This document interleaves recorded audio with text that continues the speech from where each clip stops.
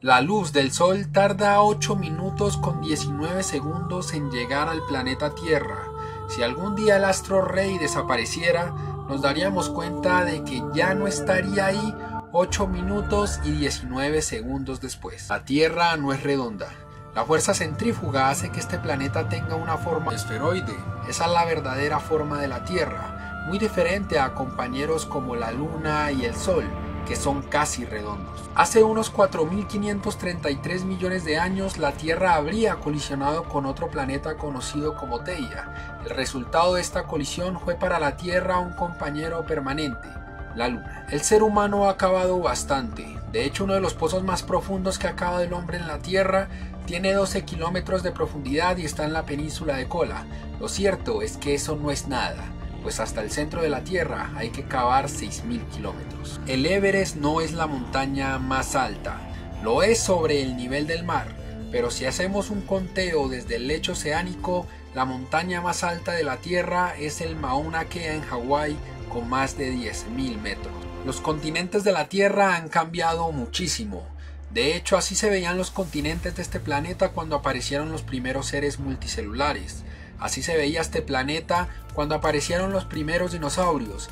Y así se veía este planeta cuando aparecieron los primeros descendientes directos de nosotros, los primates. El animal más poderoso de la Tierra podríamos decir que es un microorganismo.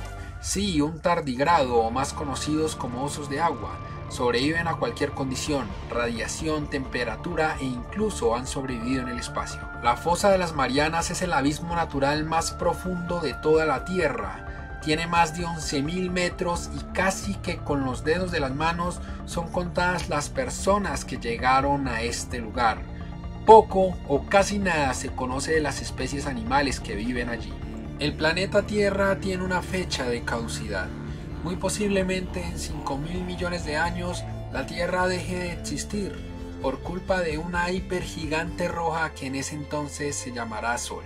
En este planeta hay poca agua dulce, pero lo que es cierto es que en un lugar de la Tierra reposa casi toda el agua dulce que hay en este planeta, y es en la Antártida, donde reposaría más del 70% de agua dulce que tiene este planeta. Seguramente piensas que los seres humanos solo respiramos oxígeno, lo cierto es que esto no es así.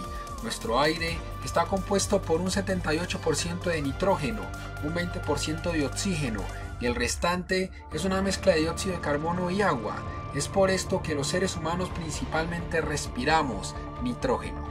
En la Tierra primigenia los días no solían durar más que un par de horas. La influencia de la Luna sobre este planeta hizo que este planeta tuviera días de 24 horas. Lo cierto es que este planeta se está alentizando a una velocidad de 17 milisegundos cada 100 años. Es por esto que en el futuro muy probablemente tengamos días de 25 horas o más. La Tierra es el único lugar del universo conocido hasta hoy que tiene agua en sus tres estados, líquido, sólido y gaseoso no existe ningún otro. Si les gustó este video ya saben chicos, síganme en todas las redes sociales como Faber Burgos Sarmiento.